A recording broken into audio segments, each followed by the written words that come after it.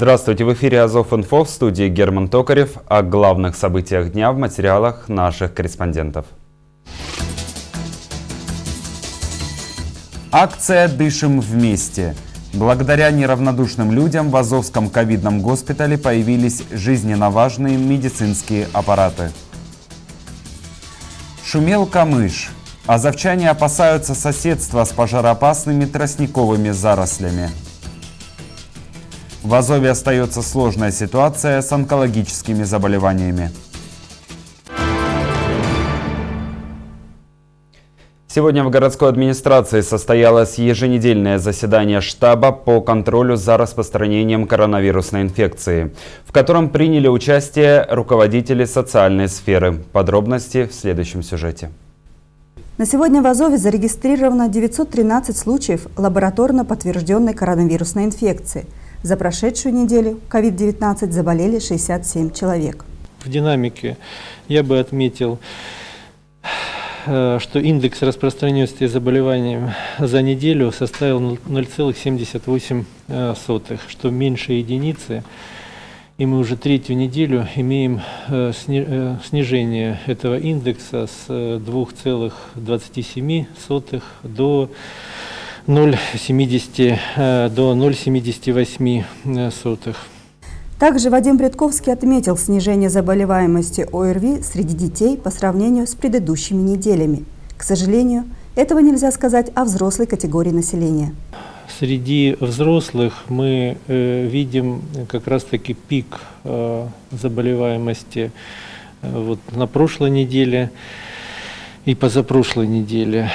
То есть, исходя из нашего опыта и предыдущих развитий э, эпидемии, э, эпидемических заболеваний в эпидсезон, э, как раз, скажем так, можно надеяться, что всегда после спада детской заболеваемости идет через 3-4 недели спад э, заболеваемости взрослого населения. То есть таким образом, ну, на мой взгляд, ситуация имеет признаки к стабилизации, но остается достаточно напряженной. В очередной раз главный врач обратил внимание главы администрации Владимира Рощупкина на существенные проблемы в городском здравоохранении – которые негативно сказываются на оказании медицинской помощи населению. Ну, мы подошли к тому э, пику, когда система здравоохранения, ну, мягко сказать, работает на пределе. Э, у нас выбывают доктора. Это самая основная причина того, что иногда э, мы задерживаем оказание медицинской помощи. Но в целом система здравоохранения справляется. И еще один такой серьезный вызов – это то, что количество пневмоний, то есть как последствия э, острых респираторных заболеваний, э, скажем так, очень большое. На вопрос Владимира Рощупкина о количестве работающих в настоящее время врачей Вадим Редковский ответил следующее. По первой поликлинике это три доктора из 12. По второй поликлинике это три доктора из восьми. По детской поликлинике шесть докторов из девяти. О динамике заболеваемости в общеобразовательных и дошкольных учреждениях главу администрации проинформировал ведущий специалист управления образования Александр Ковалев. По состоянию на 28 число количество заболевших в общеобразовательных учреждениях среди обучающихся составляет 664, что 7,2%. Э, у нас положительная динамика. 23 было э, заболевших 799, что составило 8,7%. Среди э, персонала на 23 65 заболевших, что было 9,5%. На 27 63 человека, что 9,2%. А среди обучающихся динамика лучше, чем среди персонала. В дошкольных образовательных учреждениях ситуация э, стабильная, есть незначительная тенденция на улучшение. На 28 детей, не посещающих общеобразовательные учреждения, 334, соответственно, 7,6%, э, сотрудников 87, э, что получается 80 8,5%. В свою очередь глава администрации поинтересовался, до какого числа у школьников осенние каникулы и рекомендовал продлить их до 10 дней. На последнем заседании регионального штаба главным санитарным врачом э, Ростовской области было озвучено предложение сделать продолжительность каникул не менее 10 дней. Здесь обсуждений никаких нет. Минимум 10 дней.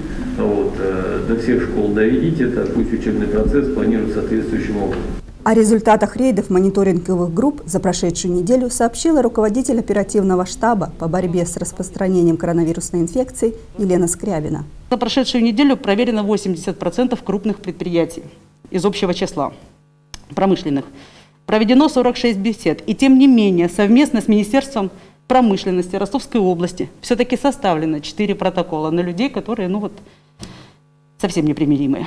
А также у нас обрабатываются подъезды. Хотя вот, опять же, скажу, и вчера я смотрела «Пульс» прямой эфир, там прозвучало тоже, что на, в одном доме не обрабатывают подъезды. И был еще один звонок, поэтому, опять же, обращаюсь ко всем. Если вы видите что ваш подъезд не обрабатывается с той регулярностью, с которой он должен обрабатываться. У нас есть телефоны горячей линии, мы ждем ваших звонков. Телефон горячей линии оперативного штаба по контролю за распространением коронавирусной инфекции работает круглосуточно. Его номер 8 904 446 45 59. Что же касается жителей Азовского района, то они могут обращаться по телефону 4 55 44. Ивана Пажельцева, Алексей Покатило, Азов-Инфо. В Азове стартовала акция «Дышим вместе». В среду вечером в ковидный госпиталь Центральной городской больницы поступили концентраторы кислорода. Эти аппараты просто жизненно необходимы пациентам с поражением легких. Средства на приобретение данных приборов были собраны в течение одного дня неравнодушными людьми. Это наши и бизнесмены, и также врачи, Некоторые не хотят, чтобы их слышали и видели, как мы готовы участвовать. Потому что каждый понимает, что может оказаться на этом месте и под этим аппаратом. Вот, поэтому то, что сейчас вот проходит эта небольшая такая акция, мы ее назвали «Дышим вместе». Вот, а группу, которую мы назвали «Азов, мы с тобой». То, чтобы азовчане могли тоже подключаться и не только аппараты, может какие-то там вещи сопутствующие, будет какая-то возможность, мы будем тоже приобретать и, я думаю, будем передавать, чтобы за каждую жизнь боролись, а вам Господь давал ту силу для борьбы. И знали, что мы, вы не одни, мы вместе. В предстоящие выходные дни ожидается еще одна поставка оборудования. Главный врач Центральной городской больницы Вадим Бредковский поблагодарил всех участников этой акции и отметил бескорыстное внимание и заботу со стороны незнакомых людей благодарность, конечно, переполняет, когда люди в такое трудное время откликаются. Это дорогого стоит. Поэтому вот первая партия вот таких вот э, спасительных для наших горожан приборов отцом Александром передается в ваши руки умелые для того, чтобы вы и дальше спасали людей. В нашем городе, как и по всему Донскому региону, сохраняется чрезвычайная пожароопасность. Однако некоторые городские территории находятся в особой группе риска. В их числе улица Береговая. Подробности у наших корреспондентов. Густые пятиметровые заросли камыша – привычная составляющая облика улицы Береговой и постоянный источник пожароопасности. Сами мы обкашиваем края, ну а середина остается. И середина – высоко поднимается камыш с метелками, с сухими. И очень волнуемся, что вдруг кто-то кинет сигарету там и что, потому что уже были причины э, пожара э, этого. Камыш горел. Последний пожар, который произошел ранней весной этого года, распространялся со стороны реки. И хотя тогда Камыш был еще небольшой, людей охватил страх за свои дома. Да, этот пожар был очень довольно-таки страшный, потому что я как раз спускалась, с работы шла, по лестнице спускалась и увидела все это пламя. Когда оно пламя поднималось, очень высоко пламя, дым. И наше счастье, что ветер пошел в другую сторону, в сторону подвесного моста ветер пошел. И тогда, что на дома, мы боялись, что, очень, что пламя перекинется. За счет этих метелок пламя перекинется на дома. Но это что ветер переменился. Еще дошло пламя почти до, до дорожки, переходной дорожки, почти туда дошло пламя. Провода тогда погорели, сильно здесь меняли провода. 23 июля жители улицы снова написали очередное коллективное обращение в городскую администрацию с просьбой произвести работы по уничтожению камыша на муниципальной территории. Они приехали, трактор легкий, он обкосил просто. И все. С той стороны повернул, а там рытвины, э, там эти канавки, и он не может там, э, вот сколько там захватил, он проехал и уехал. Все. Заросли камыша вдоль улицы Береговой действительно выглядят устрашающе. Месяц назад люди снова обратились со своей постоянной просьбой в Азовскую администрацию. Каждый год мы должны писать, просить, напоминать. Вот волнует вот этот камыш. Я понимаю, его невозможно там делать мелиорацию, там что-то такое, это деньги, это все, это хлопотно. Но регулярно совершать покос камыша – это надо. Поскольку возгорание камыша здесь случается практически каждый год, местному жителю Михаилу Карзакову приходилось вместе с соседями участвовать в тушении пожара. Молодой человек считает, чтобы действительно решить проблему, одними покосами камыша не обойтись. Желательно, конечно, не просто косить каждый раз, а как-то кардинально, ну, не знаю, покосить, засыпать землей, чем-то уплотнить и вообще как-то использовать территорию по нормальному назначению, как бы, чтобы она не зарастала бурьяном. Сейчас начнется зима, камыш посохнет. И опять в любой момент, а у нас ветра очень сильные, в любой момент здесь и детвора ходит и так далее, мало ли кто. Спичку кинули, опять полыхнет все это. У нас камыши сильно горят видно, как Зазовка горят, а здесь дома рядом. Мы очень волнуемся, чтобы не получился здесь пожар. Надеемся, жители улицы Береговой будут услышаны местной властью, которая поможет им избавиться от постоянного страха перед огнем, который здесь может вспыхнуть в любую секунду. Екатерина Четверякова, Татьяна Иващенко, Александр Кучец, Азов-Инфо. На 15-м заседании Азовской городской думы, которое состоялось 28 октября, в числе прочих вопросов обсудили деятельность стационарного отделения областного онкологического диспансера и проблемы, столкнувшихся с этим заболеванием азовчан. Подробности в сюжете. Уже который год подряд наибольшее количество онкологических заболеваний в Ростовской области диагностируется в городах Азове и Таганроге. Э, показатель на 100 тысяч населения э, для Азова и Таганрога вот э, по одну сторону и по другую сторону Таганрогского залива колеблется в пределах 550, 520, от 520 до 550 на 100 тысяч населения. То есть порядка 450 человек ежегодно в городе Азове регистрируется э, злокачественное новообразование, то есть впервые заболевают 500. При этом количество летальных исходов составляет 188 случаев, то есть показатели по заболеваемости не равны показателям по смертности.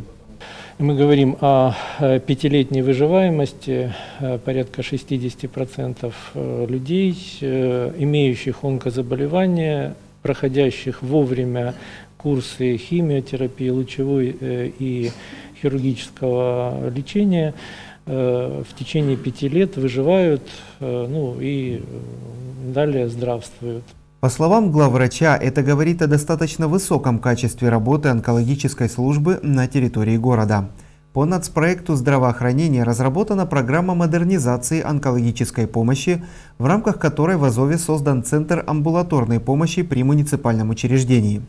Все остальные подобные центры в Ростовской области входят в состав онкологических диспансеров.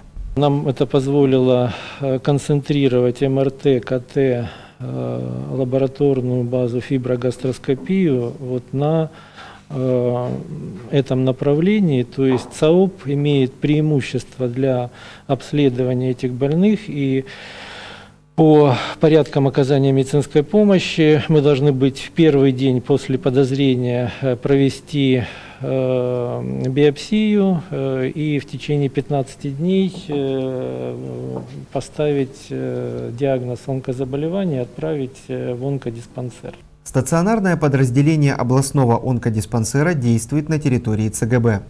У нас есть проектно-сметная документация на реализацию Центра лучевой конформной терапии, в котором предусмотрены все современные методы лечения лучевой терапии, стоимость 1 миллиард 500 э, миллионов рублей. Этот проект неоднократно представлялся э, депутатами и э, муниципальными, областными и федеральными депутатами на обозрение губернатора, на обозрение министра, но по определенным причинам пока что этот проект не реализован. Депутат Юрий Голубев затронул вопрос возвращения на рабочие места азовских врачей-онкологов, на счету которых десятки спасенных жизней. Значит, я считаю, что мы должны вернуть к нам в Азов выдавленных в ходе этой борьбы за защиту онкоотделения азовских врачей. И Кувшинова вернуть, и восходящую звезду онкохирургии его ученика Вадима Леонидовича Кузьменко – которому не давали. Ему сказал онкодиспансер, оперировать не будешь в области. Он ездил э, в Ейск на четверть ставки. Вот несколько лет назад, с трудом, я так понял, на полставки или на треть ставки попал в шахты. Я знаю, что Вадим Валентинович беседовал с Быковской и просил вернуть его в город Азов. Низкий поклон и огромное спасибо вам за это. Вадим Бредковский пояснил, что действительно обращался в региональное министерство здравоохранения, но у руководства областного онкологического диспансера есть своя позиция по данному вопросу. По словам Юрия Голубева, жители его избирательного округа, столкнувшиеся с этой бедой, жалуются на непомерно большие суммы, которые требуют врачи-онкологи на каждом этапе лечения. Многим неоткуда взять такие деньги, и люди умирают. В отношении лекарственных препаратов я могу сказать, что системой обязательного медицинского страхования увеличены за последний год тарифы на э, оказание онкологических помощи в онкодиспансерах э, десятикратно. То есть э, стали доступны препараты так называемой таргетной терапии, стоимость которых ну, доходит до 700 тысяч рублей на один, э, за один флакон. Что касается случаев взимания денежных средств, то, по словам Вадима Бредковского, они являются противозаконными. Я готов разбираться по каждому вопросу, хотя это э, э, областная епархия, но э, это, не, это не порядок, и это надо приводить в соответствие. То есть, я говорю, это противоправные действия, которые необходимо пресекать, и Э, если такие случаи будут, э, я готов, я думаю, и правоохранительные подключиться к данному вопросу. То есть денежных средств достаточно. Со своей стороны депутат предложил коллегам создать комиссию, которая могла бы для начала изучить данный вопрос. Александр Кучиц, Татьяна Иващенко, Алексей Покатило, Азов.Инфо. Далее на нашем канале новый выпуск программы «Азов ВХС Инфо». Вы увидите самые яркие, острые и интересные новостные сюжеты. Мы вместе вспомним, каким был город, его жители и что волновало азовчан 10, 20 и 30 лет назад. Азов ВХС Инфо. Настоящие новости прямиком из прошлого. И это все новости на сегодня. Впереди прогноз погоды. А я прощаюсь с вами. Звоните и сообщайте нам интересную информацию по телефону 615 54. Будем делать новости вместе. Берегите себя, соблюдайте социальную дистанцию и масочный режим. Всего вам доброго. До новых встреч.